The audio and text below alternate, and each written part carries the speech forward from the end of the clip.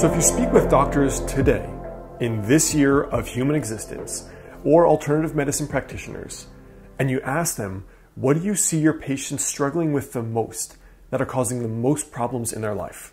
You tend to hear two things. The first one is diabetes, being overweight, the culture of inactivity, and too many available calories. But the second is stress. The problem is that you rarely hear what to do about the latter, which is stress because there are all these general platitudes about doing less and moving slower, but there's not a lot to address the psychological roots of stress. And I want to share one very important thing in this video here. Hey, I'm Dr. Alex Heyne, Chinese medicine doctor, author of the health book Master the Day and Chinese herbal formula specialist. And I've included two very important links right below this video. The first link is if you would like to become a patient of mine, either locally or via telemedicine, that's all the information you need to book with me or learn what conditions I treat. The second is for this free guide on four daily rituals that can help you add 10 years to your life with traditional Chinese medicine. You can check those both out right below this video. So let's discuss what the psychological roots are, the philosophical roots behind stress. Because you hear these cute, trite phrases like just take it slower, meditate, and use the Headspace app, but none of these get to really the psychological root cause. So when you think about it, burnout and stress, underneath them, there is this belief that if I stop controlling life, then everything will come crashing down around me. If I stop micromanaging my kids, my job, my finances, my finely tuned diet of only kale, my meticulous schedule, my morning routine, if I stop being a control freak, everything will come crashing down. Now, look, I know this all too well. I'm not here preaching to the choir. I'm not a guru. I'm not someone here who has figured it all out. I have previously in my previous life been a business owner. I was trying for so many years to have that kind of success that I really wanted, meaning I tried to do work that was really fulfilling to me and I would work my nine to five and would come home and work for three or more hours in my business. I did that seven days a week for three and a half years before I made enough money, just barely enough money, to be able to quit my job and then go full time into something that I was more passionate about.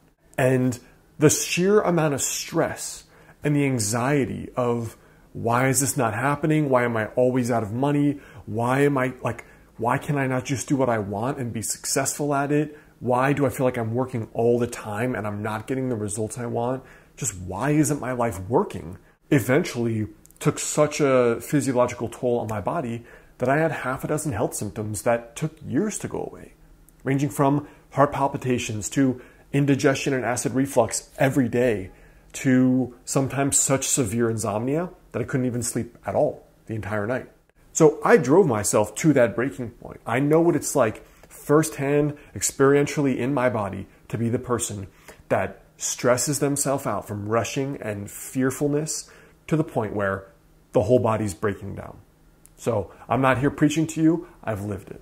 So, a lot like probably 50 million entrepreneurs in the United States alone, I know the experience of if you never have enough money, why would you take time off?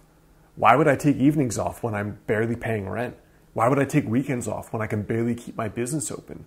Why take any time off to rest and recover and recharge? But why would I ever do that? Because underneath that, I had the subconscious psychological belief that if I take my foot off the gas, everything will come crumbling down. But it was a belief and just a belief. Now, part of my recovery and part of my healing process involved making little bets. So I started to spot that belief a little bit. And then I did a little, just a tiny experiment. So let's see what happens. If I just take off Sunday, or if I just take one week off vacation, what would happen to my business? Like maybe there'll be something crazy, a new fire to put out, but maybe there won't. I should test. So at first it started with just just take Sunday off. Go drink a cup of tea in a cafe, read a book, go walk the dog, go see your family for dinner. Guess what? My life didn't fall apart. My business didn't fall apart my relationship did not fall apart. And then I learned, wow, okay, one day off, let me try taking two days off. And then two days became, well, maybe instead of working 65 hours a week, I could do like 45, three less hours a day. Holy crap! Lo and behold, my business did not explode. My life did not come crashing down. My health was still fine. Everything was good. And in fact, I was feeling a lot better because I just gained 20 hours of life back. And then when I got to 45 hours a week, I found that I could reduce that to even half or less than that. My business was still fine. It was the same. And in fact, over the next year, it only grew. And so as I began this, my version of a surrender experiment, I learned that humans have this philosophy behind stress, which is really that the psychological and emotional root of stress is fear.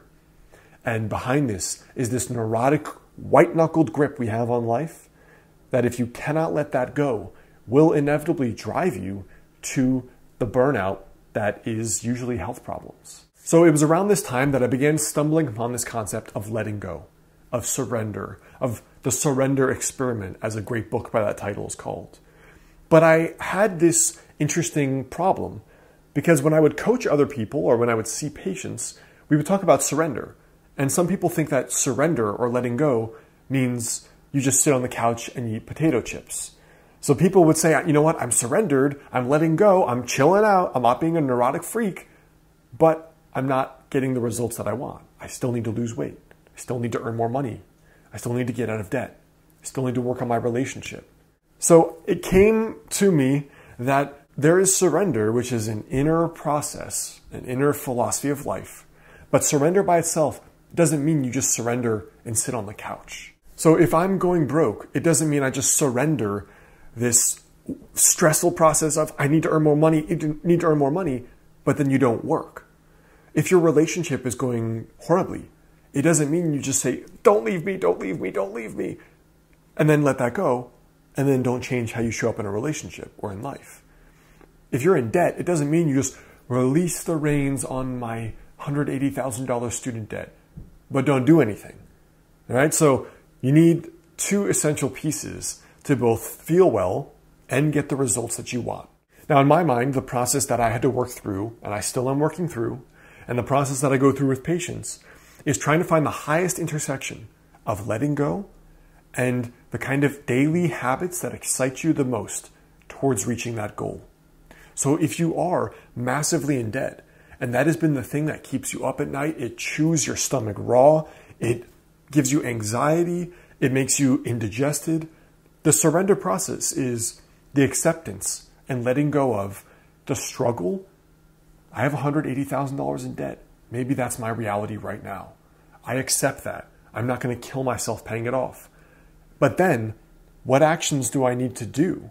Maybe I do need a second job and I don't need to work 80 hours, but maybe it's going to be a 55 hour work week for the next couple of years to pay that off. And maybe I can find a fun secondary job. Maybe there's a fun, excited way to do that. Right? If I'm single and I've had so much anxiety after my divorce and I'm trying to find a way I really want to date or be married again, the letting go process is the acceptance that that's where I am now. I'm not going to white knuckle it.